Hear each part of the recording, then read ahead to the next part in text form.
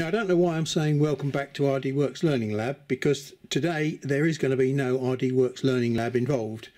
Um, I think as you can probably see here we're going to be doing a bit of machining work before we jump onto the, the actual laser machine itself. Now what I'm holding here is something I've just purchased from Maplin and it is a little laser pointing keyring. Now I'm intending to use this to help set my mirrors up because I'm absolutely fed up with running around the front and the back of the machine pressing the pulse button and you know it, it's an irksome job. If I could get a continuous point of light like a small laser pointer fired at the mirrors then it would make life so much easier because I could make continuous adjustments and not little step adjustments. Although this is really slim and it fits into the hole in the end of the laser, um, which is where I'm tending to plug it. It's a little bit small in terms of diameter and it's far too long to get in there. So what I'm going to do now is to carry out some modifications and adaptations. I have no fear of doing things like this.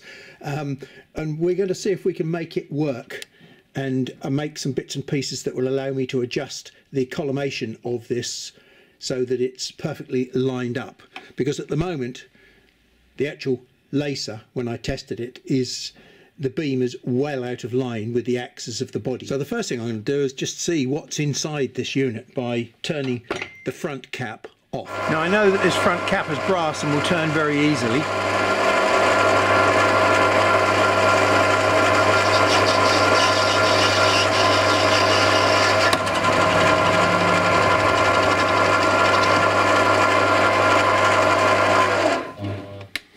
that's good news because I've broken the glue, which is great. I half suspected it was glued in. Now we can have a look inside.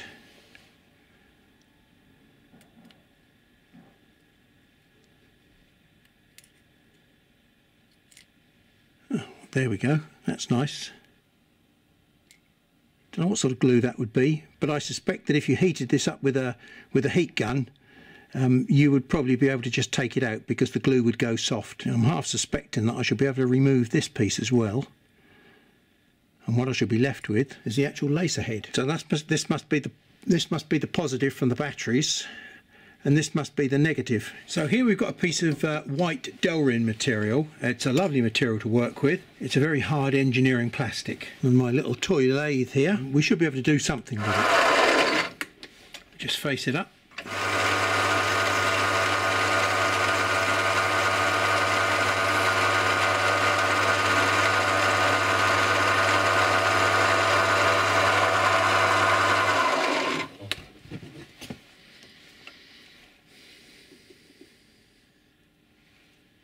9.95 I'm going to try that because I think that's probably going to be just about a good fit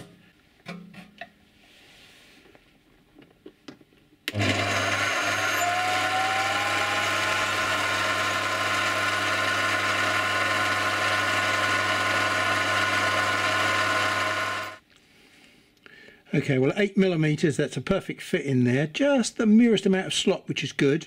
And it goes in just deep enough. This is a slightly dull 6.5 drill. I reckon this might do the job.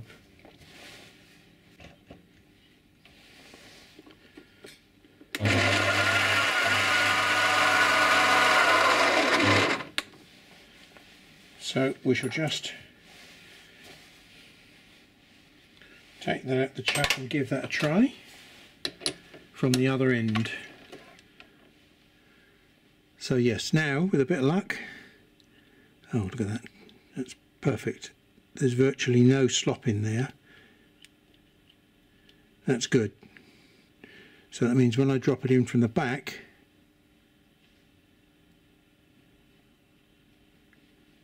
should be a nice slide fit in there. Now we come to a slightly tricky bit. We've got to get a hole through from the inside of this slot to the front face so that we can get a wire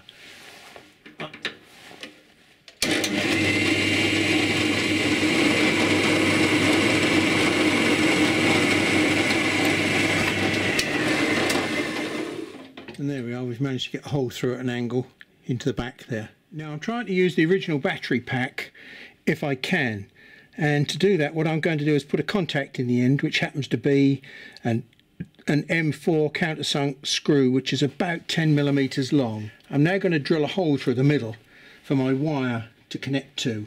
Right, we're going to have a couple of bits of wire, one red, one black, obviously for positive and negative, and uh, we'll make them nice and long so that we've got plenty of scope for putting the battery pack wherever we want.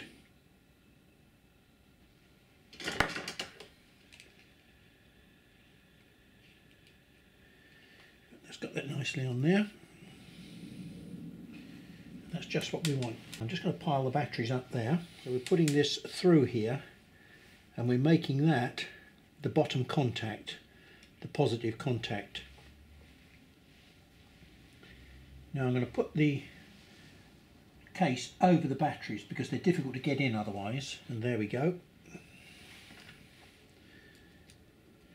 Right well now that we've made good contact with that we should be able to press the button here and see where we get light. Yeah we get light when we touch the body so the longest path length to the lens is about 1100 millimeters with the wires coming out the casing at the top, the beam is actually touching here, nowhere near the target. And if I turn it through 90 degrees, it just about makes the bottom of the target. Then I turn it through another 90 degrees, and as you can see it's at the top of the target. I turn it another 90 degrees, and it comes back down towards the bottom of the target again. So it's quite a long way out and that's only eight or nine hundred millimeters.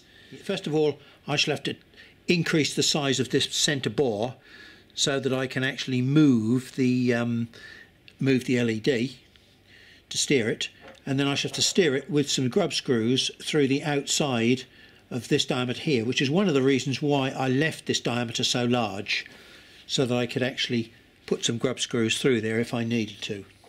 Although my plan was to drive this with its existing battery pack, to be honest, it was becoming too much hassle.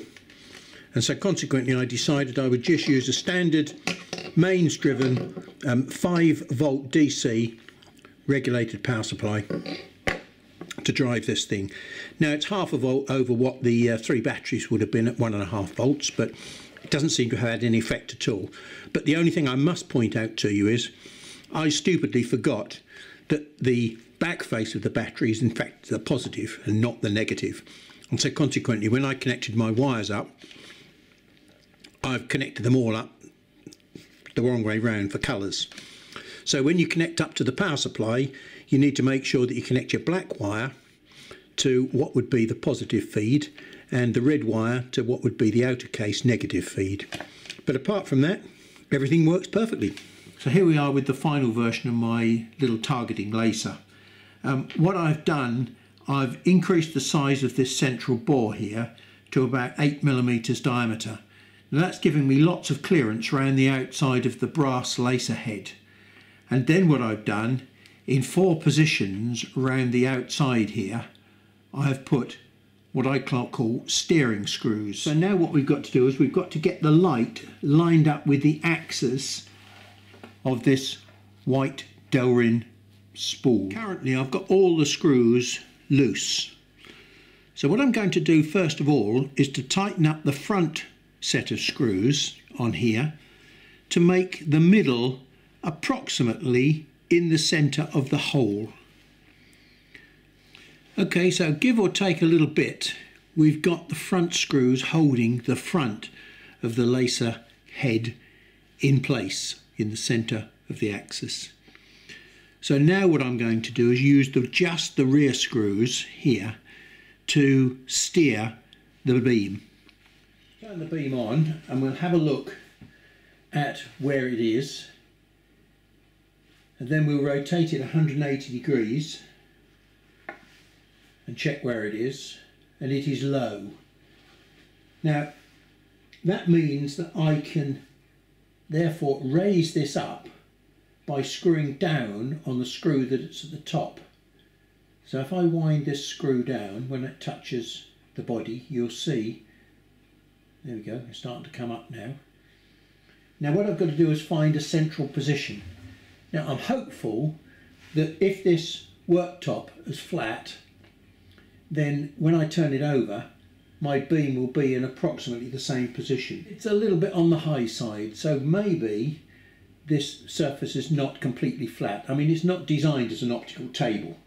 It's just a plastic worktop. So what we'll do, we'll try and find a halfway position between there and let's wind that up just a shade more there and see whether or not that matches this position here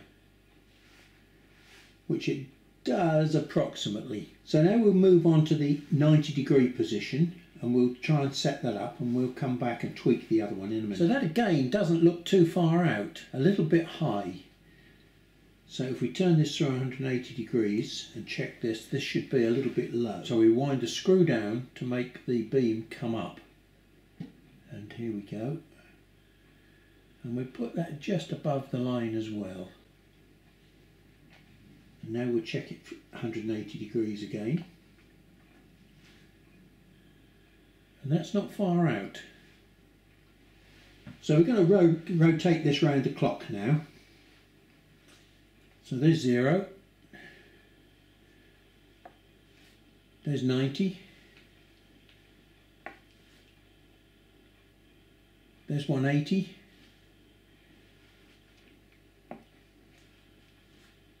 There's 270. So I do believe that that beam is now lined up with the axis of the plastic spool.